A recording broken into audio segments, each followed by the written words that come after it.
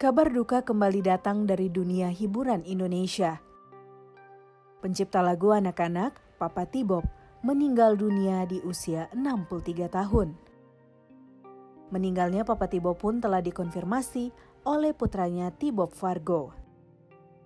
Pencipta lagu yang terkenal di tahun 90-an ini mengakhiri perjuangannya setelah melawan penyakit komplikasi diabetes yang telah dideritanya.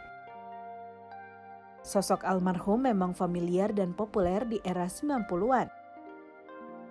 Ia dikenal mengorbitkan sejumlah lagu anak-anak seperti lagu Bolo-Bolo yang dinyanyikan Tina Tun, Dudidam yang dibawakan Eno Lerian, serta lagu Jangan Marah yang dipopulerkan oleh trio Kwek Kwek. Selamat jalan, Papa Tibob.